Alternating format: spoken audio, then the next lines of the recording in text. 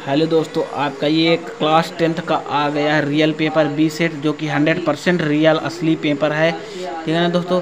ये hundred percent real paper है। ये कक्षा दस बी त्रैमासिक दो हज़ार बाईस तेईस गणित ये चार सौ ग्यारह माध्यमिक हिंदी।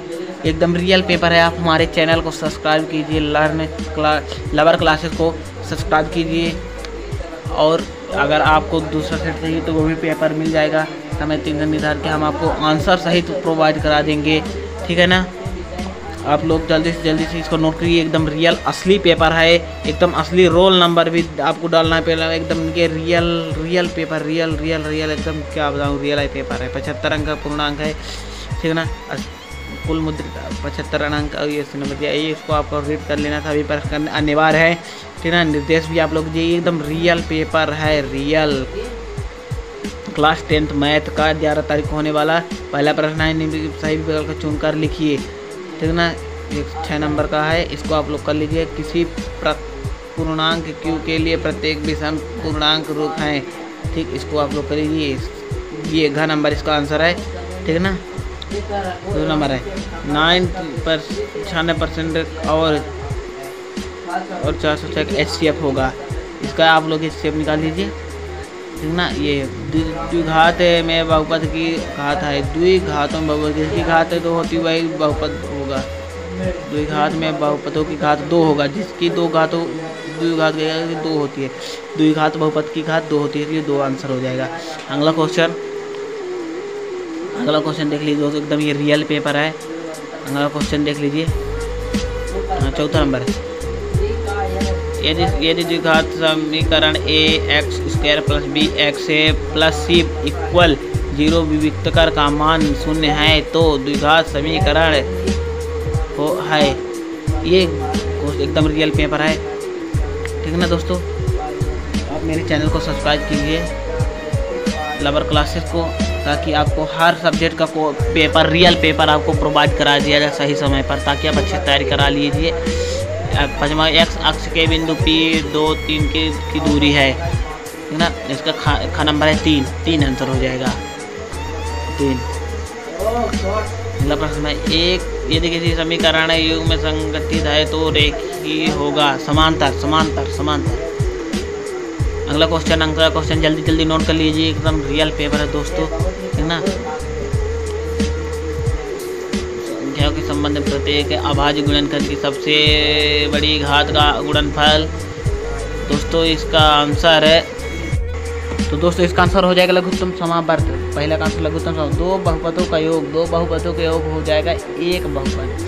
दो बहुपदों का योग एक बहुपद हो जाएगा। दूसरा जब किसी समीकरणों को निकाय को भी हल नहीं हो जाए तब निकाय होता है तो ये हो जाएगा संगत निकाय। क्या हो जाएगा? संगत निकाय। किसी वर्ग में जो समीकरण के अधिकतम मूल होते हैं, कितने मूल? दो मूल होते हैं, अल्फ़ा और बीटा। कोई तीन राशियों के समांतर श्रेणी के दो मध्य होने वाली राशियों का राशियों का खाली स्थान कहलाती है, समांतर कहलाती है। कोई तीन राशियों को समांतर श्रेणी में हो तो मध्यम वाली राशि को राशि को समांतर कहलाती है, ठीक ना? किसी बिंदु एक्स से अक्ष पर की दूरी बाई एच कहलाती है। दूरी बाई एच कहलाती है। सभी वृत्त सभी वृत्त क्या होते हैं?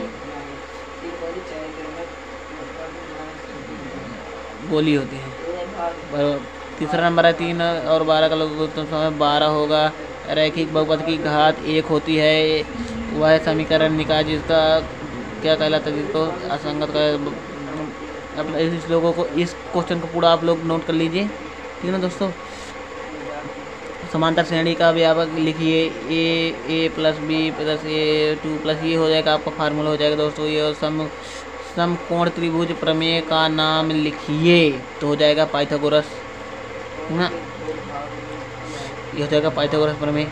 अगला क्वेश्चन है मूल बिंदु में से बिंदु एक्स वाई के बीच की दूरी क्या होती है? तो ये हो जाएगा under root x square plus y square चलिए अगला क्वेश्चन देखते हैं। सही जोड़ी सही जोड़ी दोस्तों, सही जोड़ी लिख लीजिए। पाए है परिमेय, अपरिमेय। ठीक ना परिमेय, अपरिमाण के आप लोगों को हम वास्तविक संख्या, दो परिमेय व्यंजकों का योग पहला नंबर होगा परिमेय व्यंजक रेखी एक्स अक्ष के कांटे बाई का शून्य होता है बाई का मान शून्य होता है।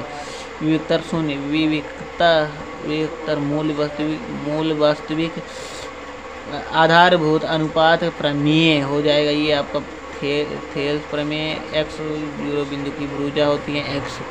है ना? सत्तर सत्तर सत्तर सत्तर देख लेते हैं सत्तर सत्तर देखिए।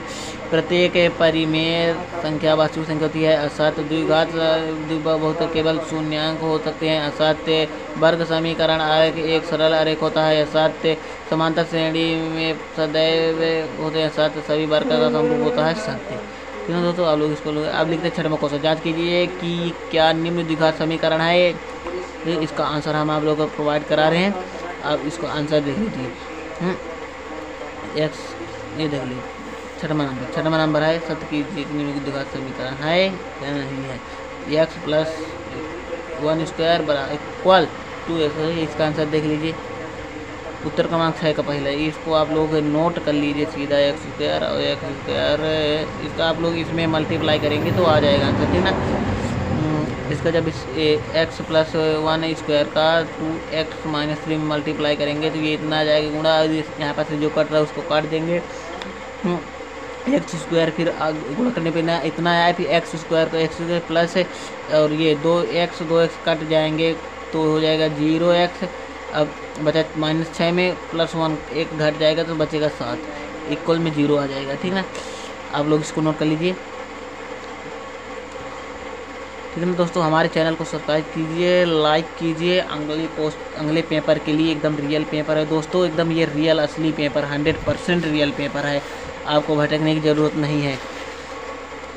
क्योंकि आप लोग समीकरण a x x square b plus b c x equal में ज़ीरो पर, प्रकार का अर्थ है ए बी और सी का वास्तविक संख्या तथा ए बराबर नहीं ज़ीरो के, अतः तत्व समीकरण एक दुखात समीकरण है। आप लोग उसको स्क्रीन शॉट लेते जाइए स्क्रीन शॉट लेते जाइए। जल्दी कीजिए, जल्दी।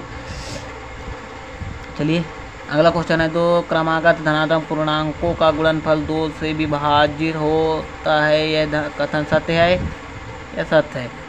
इसको लिखिए ये कथन क्योंकि सत्य है, क्योंकि ये दो ये दो क्रमांक पूर्णांकों का गुणनफल ये n n a n a plus one होता होगा। जब एन का पूर्णांक और इसको आप लोग नोट कर लीजिए स्क्रीन शॉट लेते जाइए। ठीक ना दोस्तों? ये बहुत ही ईजी जी है।